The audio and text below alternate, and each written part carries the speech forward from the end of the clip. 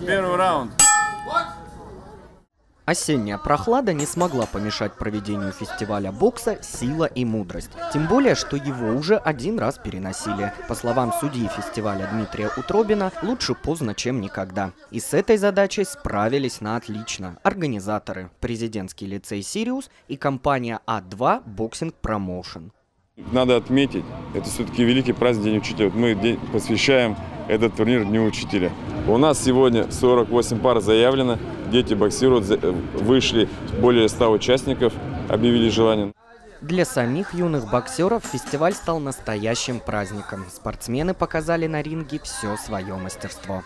Я тренируюсь э, уже пять лет. Э, Приехал сюда в Сириус, чтобы э, победить. Бокс мне нравится, потому что я выпускаю всю злость, когда ну, спаррингую. Мне бокс интересен, потому что, э, ну, вот интересные удары, боковые, снизу, и прямые, и, ну, и защита. И если на тебя кто-нибудь напал, можно дать ему сдачи. Твоя выигрышная дистанция – это ближняя. То есть зайти в ближнюю дистанцию и серийно работать, понял? Помимо участников, фестиваль бокса собрал и болельщиков. Это родители юных бойцов, бабушки, дедушки и друзья. Такая поддержка однозначно приведет к победе.